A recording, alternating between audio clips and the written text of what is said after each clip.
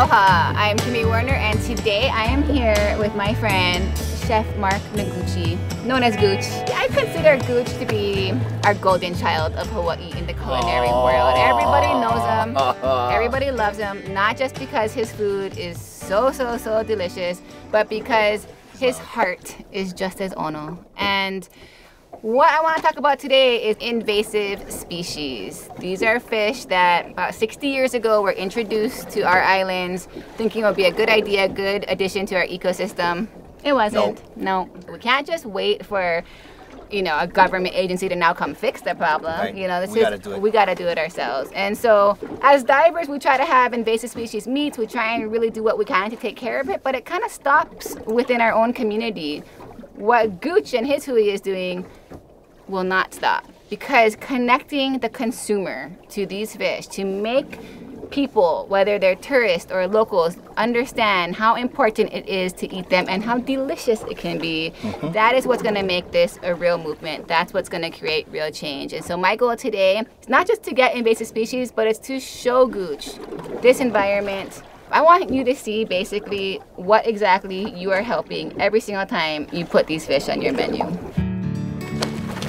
Ta'ape are the fish that we're looking for, and I know it won't take long to find them. We're in about 50 feet of water, and as soon as we come across some structure below, we can already see Ta'ape taking over the reef. I dive down, and they are everywhere. Ta'ape, also known as blue striped snapper, compete with native fish for both food and habitat. They are literally overflowing out of every crack and cave of this reef.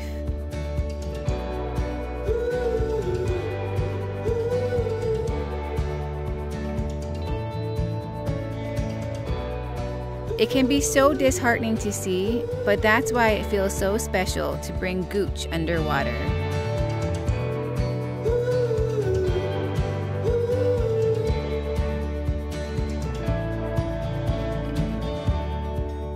It's so important to take care of our native species and their environment, and it must be done as a community.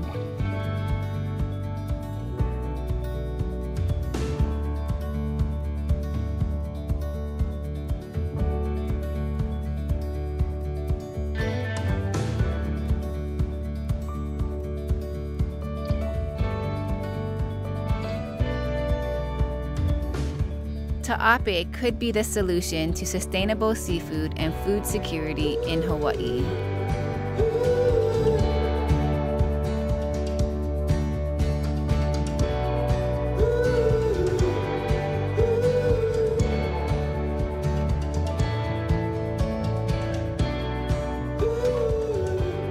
And chefs like Gooch are a key piece of the puzzle to make that happen.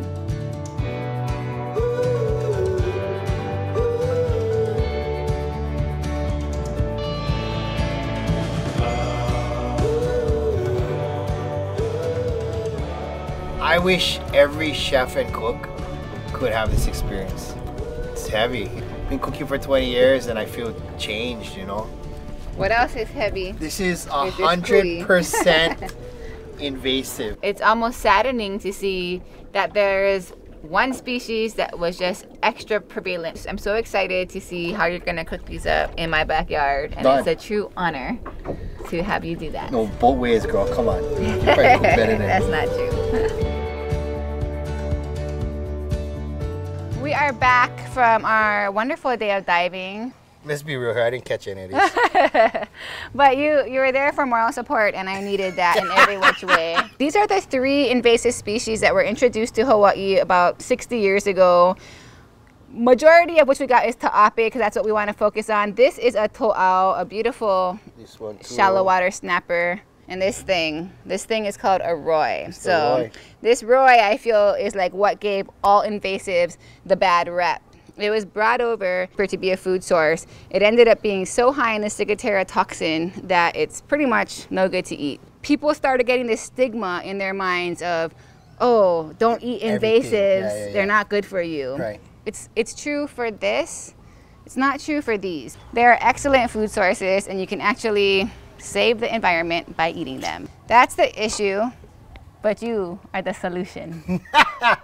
and today's solution will be two delicious dishes a Peruvian style ceviche and a very special dip. So, walk us through what you're gonna do today, Everybody loves smoked ahi dip. Why is it just gotta be ahi? right? Or smoked Right. salmon, right? Or Why smoked is it gotta be right. salmon? Yeah. Make ourselves some smoked ahi dip. So this one is is just like how you're doing is I'm gonna take some of these fillets, keeping the skin on. I'm gonna season it, and then we're gonna smoke it a low, just till it sets through. So that'll, that'll take only about. These things are so skinny. It's gonna take about 10, 15 minutes max. These ones, you're just filleting, skin on. You're gonna dry rub it, smoke it, Yeah. make it into a smoke spread because who doesn't want a smoke Absolutely. smoked fish spread? Right. And then I'm going to skin fillets, get out, make sure that they're boneless, skinless fillets, and then small dice for the Correct. ceviche. my first introduction to ta'ape it was in Waipio Valley, and then when I was in college, um, we spent a lot of time down there. And you know, one uncle one day they went diving and they came back. Said, "Oh, you know, gooch, you know, chota, you know, chota oil on it." This was 15 years before I thought I'd be cooking professionally, and we had fried fish, and it was like a revelation. You know, it was kind of eye opening. you know, I would come home from school and uh, walking home from the bus stop, I could smell fried fish as I walked down the road. And my dad would be there in the garage frying ta'ape. In his wok, he would just score them, salt them, fry them, and he'd always just load it up because that was right when that sweet Thai chili sauce just My came boy out. Yes. took Hawaii by storm. Like, and everyone was just like, oh, this is the best thing ever. So he would load it up with that, and all the neighborhood kids would come over, and that's what we would eat. For, for me and my dad, like, whenever I was in the water with him, just watching him go down and, you know, come back with our favorite dinners, like, it was just something that left such an impression on me. And that's what gave me definitely my love for the ocean. That's what makes it so important for me today to want to protect it and share that same world with my son. you know, while we're prepping this, we're doing two dishes at the same time. So the plan is that when the ceviche is done, that that baby is gonna come out as well. It's gonna take five minutes, and it all comes together at the same time. I just seasoned the ta'ape fillets. I have it in the smoker at about 200-ish degrees right now. You said it yourself. It's taking all these little grassroots initiatives, right, and then strength in numbers. The initiatives become the movement, Yep. right? chefs are the ones who can save the world. And I believe it because you guys are the storytellers, you guys are the artists, you guys are the ones that are taking these stories, these issues, whatever they are, and putting it on the menu, describing it, putting it in a way that people can relate to it and eat it. And then everything comes down to the consumer. If the consumers actually demand this, that's how real change is going to get made. We see it happening in, in agriculture very much, where people are becoming more and more aware of, you know, how is this plant grown? What was used for this? Therefore, that's what I'm going to ask for. That is what I want. Is it organic? Is it not? We see so much support, so much knowledge, you know, coming from the consumer when it comes to plants. But it's like, okay, if we can just turn on that same little light bulb Right. towards fish, Right. it's like then people can eat fresh local seafood every day All the time. while supporting our beautiful oceans. Yep. We're the most isolated landmass in the world, surrounded by all this ocean, and we're importing half of our seafood. And that's why these fish, ta'ape, I mean, some things are a win-win, but it's just like a win-win-win because number one, It's the triple bottom line. Yes. Right? Win number one, it completely supports a local economy. Uh-huh. Every single ta'ape you buy, it's gonna come from a local fisher Uh-huh, person. okay. Number two, it's like it's food security, right? Because if you're getting rid of that 50% of of importing, then we are creating our own food, Economy, yeah, our yeah. own food sustainability. right and there. then number three, we're getting these things off the reef and saving that underwater ecosystem. Uh-huh. What we're gonna do next is raw garlic. Okay. So once you get the big pieces like this, then you can start to go like that. And you're just gonna make it nice and smooth. So I found some green chili peppers in your backyard. This is looking lovely. I'm gonna check the ta'ape eh? in the smoker. It's a beautiful day in the neighborhood. A beautiful day in the neighborhood. So right now, right here, it's about 50% finished. It was just some orange and lime juice that we squeezed. Right, so super, super garlicky, So garlicky, not, but uh, not, not aggressive or offensive. Yes, not too harsh. We got jalapeno and serrano peppers, which is going to give us this vegetal heat. You got the, the green chili peppers, which is that, that in your in, in the front. The jalapeno and the serrano are two different heats that are going to hit you in the different parts of your mouth. Take a little bit of cherry tomatoes, onions. Gotta love onions. Okay, am I spooning half of this on now? Spoon, baby. Oh yeah, you boy. Good for now. One more. I don't know. Give him one more. Why not? Okay. Okay. So, bang. You go with that. Start mixing. More OJ. Yeah, a little more, a little more acid, and we'll let it hang. Let's see what happens. Okay, so Gooch told me to go put this in the cooler, but I have to say when I look at it, I actually forget that this is ta'ape or or reef fish in general, and that's something that's so interesting because back in the day in Hawaii, that's what people ate. Everybody ate reef fish, whereas today you hardly ever see reef fish on the menu, and it looks fabulous. Mm, cook it I'll up. to it now. Okay, shoot. So, Kimi, we've been going for about 20, 25 minutes. Wow, holy moly, super moist. And then right into the bowl once Right it's into the bone bowl, free. Yep. So now we have Five our lovely smoked ta'ape meat. I, Mm. I, mild. It's good. It's so good. Good. It is so moist and delicious. I'm a big fan of mayonnaise, but being 45, I'm trying my best to eat healthier. So I still want a little bit of mayonnaise. I'm right What? here with you. we'll take a little bit of Greek yogurt as well. You want to get real fancy, you could make your own aioli. It all works out fine. But let's just keep it simple so that anybody and everybody can do this too. Yeah, a little bit, of, a little more salt, fresh pepper, and just enough, you know, mayonnaise slash yogurt to bind it. A little bit of heat, some hot sauce, herbage. It's just there. Tell you what, let's go a little bit of acid. Oh, babies are juicy. They are. Proteins denatured, right? A little more opaque. Been hanging out for a little while. We forgot the corn. You can't forget that.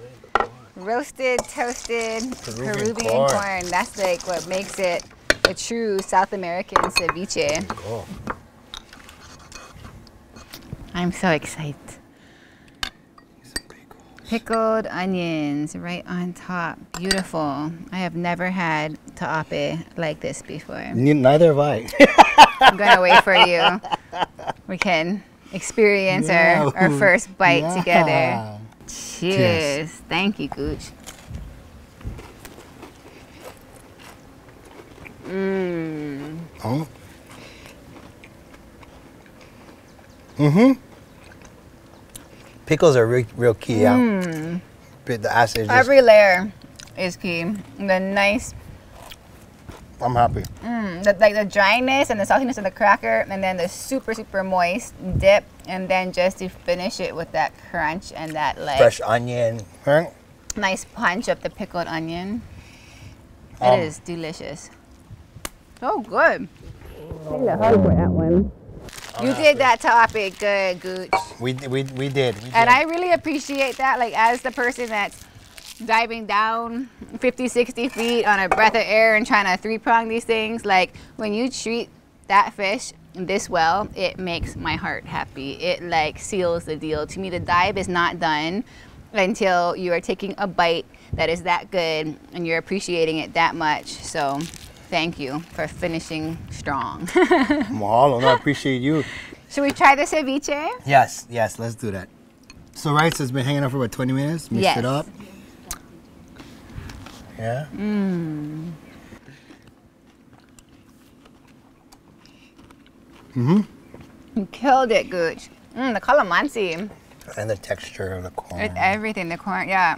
I think it's about pau hana 30 right now. I think so too. Yeah. Well, I just, I really just want to say thank you from the bottom of my heart. I know it's not you alone. I know you have a whole community, a whole hui of awesome chefs who are just working to to get this out to the people, and um, you're doing it with so much love, so much heart, and so really, call to action, the least we could do to give back is to embrace this love, embrace this fish, and let's let's make a demand for it. And this is what it doesn't just create sustainability, but it, this is what creates a community. Absolutely. It's when we all work together to take care of this beautiful place we live in. Each other.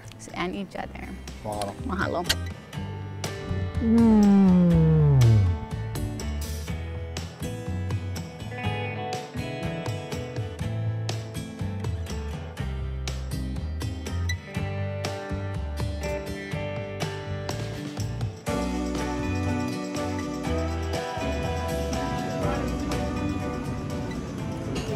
Hello everyone, I'm Dave. This is Town Restaurant.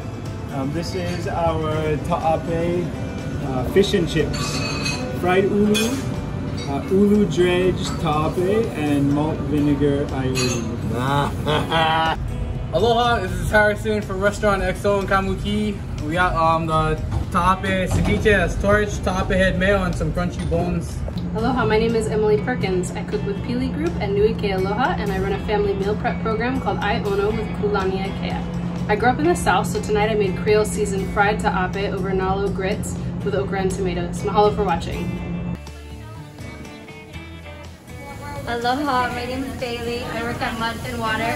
The whole fried ta'ape with spicy shoyu. We need to eat invasives. They're sustainable, and there's plenty of them, and they're yummy. Rajarat. Mahalo, gang.